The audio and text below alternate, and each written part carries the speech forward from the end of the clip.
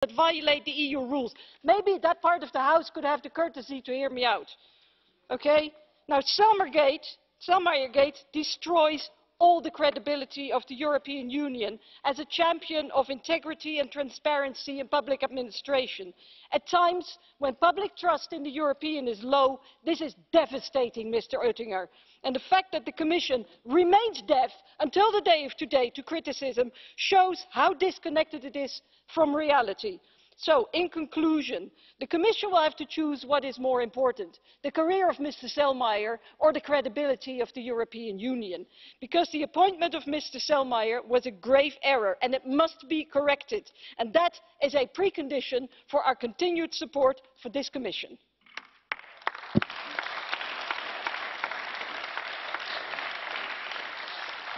Dziękuję bardzo pani in. Bardzo proszę.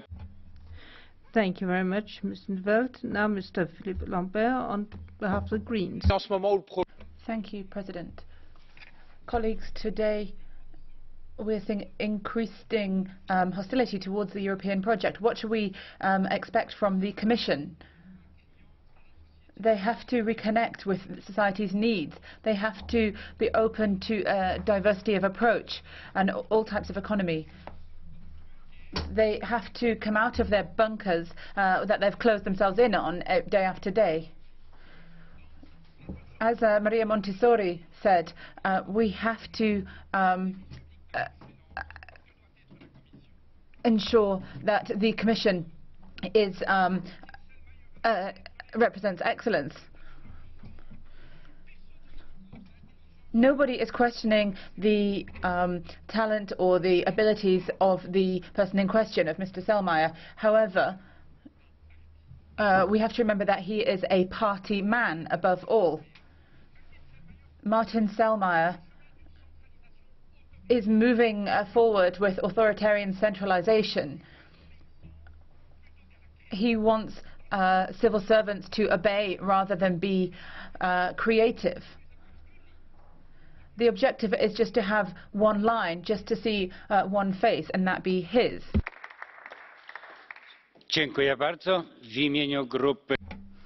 Thank you very much. For GUE, Mr. de Jong. Dank u wel, voorzitter. Thank you very much, Chairman. I have to say that I'm extremely disappointed at uh, what Mr. Oettinger has just told us in a couple of minutes we're being treated like children. That it's like we're whinging about something that we're supposed to know, namely that the Commission does everything openly. Whereas the truth is that everything stinks when it comes to this appointment. It's all been done behind closed doors. The second appointment, Secretary General, how can it be that the Commission was surprised that Mr. Selmayr was proposed as Secretary General. Don't treat us as children. The same happened with Mr. Katainen, who also told us that he would told us what he'd tell us what friendship was when he went to have a, uh, a glass of wine with Mr. Barroso. He wasn't in any way a lobbyist, but this is the real truth. Mr. Barroso had promised that there would be no lobbyism, and that was not maintained. So, and if that, had, if he had not stick to that, we'd have to do something about Mr. Barroso. And this is why we put this subject on the agenda. We don't want to be treated like children. I really felt that. Uh, past weekend we were back in the Santer Commission 1999, a problem of integrity, and uh, the problem was swept under the carpet, and you know that everything was done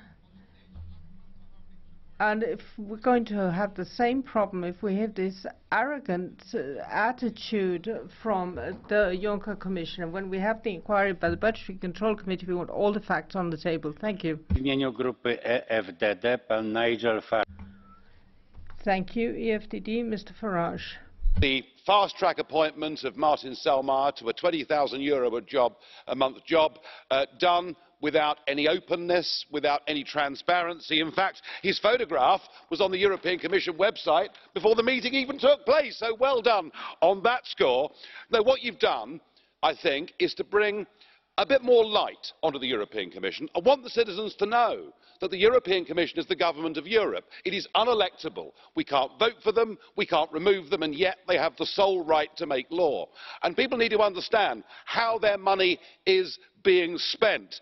This is, this is Juncker's favourite bureaucrat, a fanatic who is now the most powerful bureaucrat in the world, and all of it done without an open procedure. You've done the peoples of Europe a great service. It is the perfect stitch-up.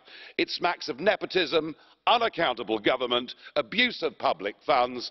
Thank God the UK is leaving.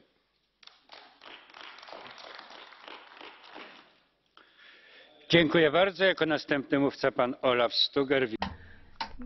Thank you very much. Lars Kruger. Voorzitter, dank u wel. Voorzitter, ik ben geschokt. Thank you very much, Chairman. I'm shocked, but not by the, the employment procedure of Martin, of Martin Selmayr, but rather uh, the fact that people are not trusting Mr. Juncker. Don't we know Mr. Juncker as a true and true uh, trustful person, uh, somebody you can trust to steer the ship, somebody who puts himself last and the European citizen first. He is uh, the idol for a number of world leaders, and now he is uh, having mud slung at him. And I can't accept it. I think we should have the right procedure. I would suggest that the European elections next year should be cancelled and uh, Mr. Juncker should be given the power to appoint members of the European Parliament on a personal basis. Thank you. Dziękuję bardzo. Pan Bruno Gollnisch jako poseł niezrzeszony. Bardzo Thank you very much. Mr. Gollnisch. Monsieur Tinger, vous nous prenez vraiment You know, Mr. Oettinger, you really think we are children, don't you? Not responding to the questions uh, about the appointment of Mr. Martin Selmayr, appointed just overnight se Deputy Secretary General, then Secretary General. You know, you, you, you said they, they really held lengthy meetings. On the 21st of February, the meeting began at half past nine in the morning, and the uh, announcement by the press, uh, the release went out uh, early in the morning for a 10.30 meeting. I don't know. If there hadn't been any candidates, then this would have been an illegal appointment anyway, that we would have had a male candidate and a female candidate. So Clara Martinez Alberola was the person who was called in, deputy uh, collaborative, uh, working with Mr. Selmayr. She was, she actually agreed to withdraw. I'm sure she was handsomely rewarded for that, to leave the place and leave the pave the way for Mr. Selmayr. I mean, what's legal about this? I don't know. The final question, however, which is very important, is how come the 27 commissioners were so kindly disposed towards this procedure? Is it because Mr. Selmayr suggested that their, their expenses for former commissioners be increased um, from 40% to 67% of the basic salary? Is it because he promised all the commissioners, all the former commissioners, that they would have an office in the commission, that they would have a chauffeur-driven car, two assistants, uh, so that they would end up getting double or triple, treble what they get at the moment? These are the kind of questions that we need answers to. Dziękuję bardzo. Przechodzimy do wystąpień indywidualnych. Thank you very much. We go on to individual speeches. Mr. Montenegro. Thank you, President. Um, obviously, the President of Secretary General of the Commission is an extremely important one. It must um, assure the well functioning of all services, the balance, um, the exchange of information between general directorates, exchange uh, of information with Parliament, and um, more importantly, the implementation of um the political decisions of the College of Commissioners without, of course, um, straying too far from those decisions. Uh, that civil servant must not have uh, opinions, but rather implement those decisions as they are. That is why I believe um, the procedure, the appointment procedure, must be very transparent, and it must encourage the participation of a large number of um, civil servants, of functionaries, so that the best person may be chosen for the position. It is the only way uh, the Commission can um, prove its uh, credibility. I believe that the intervention of uh, the Budgetary Control Committee is uh, very welcome in this case. Thank you. Dziękuję bardzo. Bardzo proszę panią Perwan. Thank you very much. Ms. Pervenche Berès. Merci, Monsieur le Président. Thank you, President. Vice President, do I have to read Article 4 of the Statutes of uh, Civil Servants in Europe? Any vacancy brought to the knowledge of uh, the staff once the uh, appointing uh, authority decides that uh, they have to replace the um, fill this vacancy. Why, con contrary to what you told us today, was the procedure not followed? Why? Did Mrs. Clara Martinez withdraw her candidature before uh, the interview, before a hearing? Where do we have the hearing of a male and female candidate? Why were people not informed in due time? Vice President, you are so uh, keen to ensure the rules are respected and abided by. How could you be happy with this clear violation of the spirit and letter of the law? How could you take the risk of taking on this commission that Mr. Juncker wanted to be a commission of last resort, which also gives rise to Eurosceptical debates within its ranks, whether where we want it to be the guardian of the treaties. How can you violent, violate the spirit of the institutions so that people who are working there should be serving the citizens and not helping themselves? We should be doing this in an exemplary manner here. Uh, and we should ensure that we are very vigilant with regard to our own institutions. But, Mr. Vice President, you were saying uh, these untruths, these counter-truths, whatever the qualifications of Mr. Selmayr, he didn't have the legal qualifications in terms of employment for the post, and you wanting to promote women by asking the female Deputy Vice Secretary General to withdraw her candidacy is hardly respecting the desire to promote gender equality. Pan Peter van Dalen. Thank you very much. Uh, Peter van Dalen. Next. Voorzitter. Chairman, Brussels has a very negative uh, taste for a lot of citizens. And this is exactly what the President Commission has done. He's given his friend Selmayr a good job. Not much seems to have changed. Heinrich Heine says is quite right. It's an old tale, but it keeps being repeated.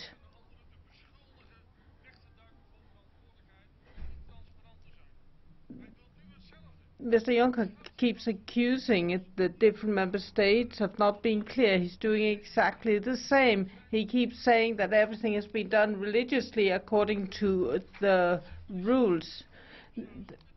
We've had a very simplistic answer from Wirtinger, and that shows that the Commission has no political antenna um, Mr. Selmayr is now in office. We've got a big problem. We know that this is not decent. So we should have a proper procedure.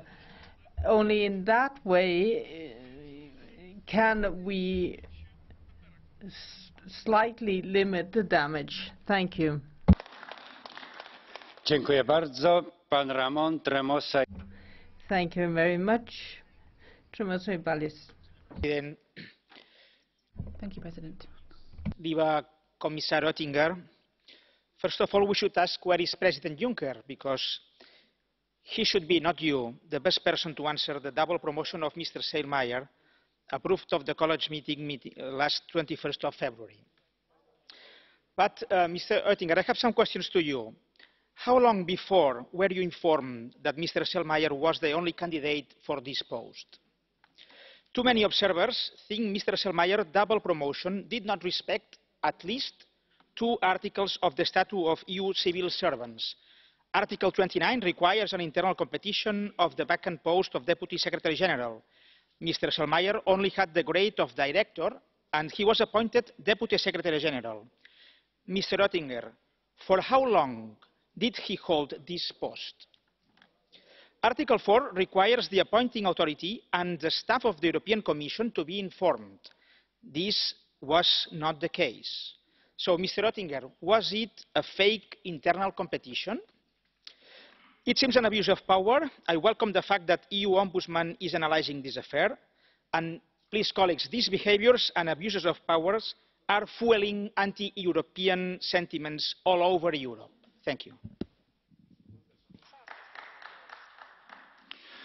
Dziękuję bardzo. Pan Bart Staes. Thank you very much. Uh, Mr. Staes.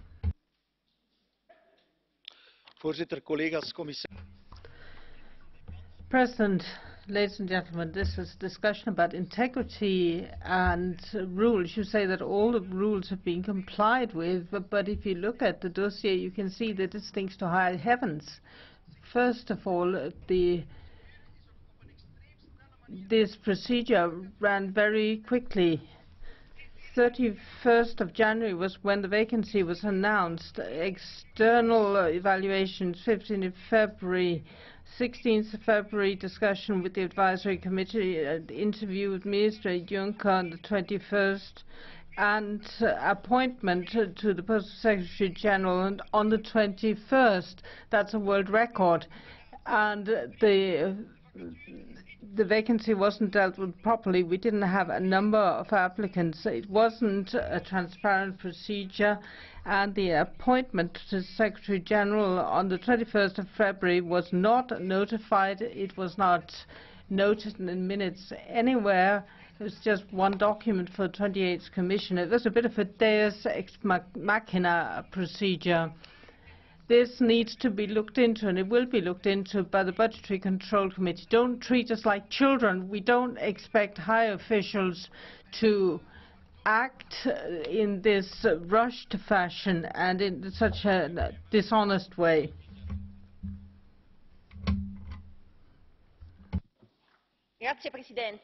Thank you, President. Colleagues, we're here discussing a shady bureaucrat, Mr. Selmayr, that no European citizen knows. Why not? Because Mr. Selmayr is now sitting on one of the uh, main commission thrones. The problem is that we know that who, uh, he is now head of uh, Juncker's cabinet and whose interests he's defending. Now, I'm not questioning the formal um, correctness of how he was nominated, but the political role of the Commission and its President, and also the role that ethics has to play in public life. I ask myself and you, colleagues, are the President of the Commission and Commissioners only um, technical um, Uh, appointments without any responsibilities, or are they politicians? If they are politicians, as Mr. Juncker has said many times here, then how can they respond to citizens who haven't elected them, but who are subject to their decisions? Politicians, particularly those leading institutions, have to act with integrity, discipline, honour, and always act in a way which is ethically irreproachable. And they shouldn't just do this, but have to appear to do this. There can be no, doubt, no doubts as to their actions. Where are ethics and transparency here? What mechanisms uh, for political sanctions can we enact? Um, when faced with this kind of behaviour. Neither Commissioner uh, President Juncker nor the Commissioner have been directed directly elected by citizens or can be subject to individual no confidence motions. The vote recently in Italy has shown that citizens don't want this Europe anymore, uh, uh, closed off in its fortress of lobbyists, um, interests, German interests. Uh, with, there is a strong wind of change blowing in Europe, and you can no longer ignore it. Dziękuję bardzo. Pan Nicola. Thank you very much. Mr. Nicolas Bay. Oui, la nomination de Monsieur Yes, the appointment of Mr. Selmayr as Secretary General of the European Commission is outrageous. It is outrageous because this person close to Mrs. Merkel just adds to the long list of Germans abusively appointed in key posts in the European institutions. It's scandalous because this appointment, which is totally arbitrary, disregards all the recruitment rules in place in the institution and is a win of the bureaucratic superstructure over the political uh, beings that we are with the responsibilities that we have. The European Union is forever giving lessons to the whole world and there the former Prime Minister of a tax haven wants to put his uh, Chief of Staff at the head of the administration of the European Executive. And Mr Juncker, instead of coming to explain, sends Mrs Oettinger, the German commissioner, also chosen by Mrs Merkel. So what contempt for the Parliament and the citizens we represent.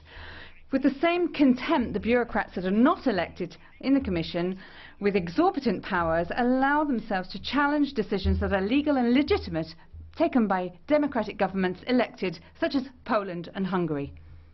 Dziękuję bardzo. Bardzo proszę pani przewodnicząca. Thank you very much. And now we will have Ingeborg Geisler. President, ladies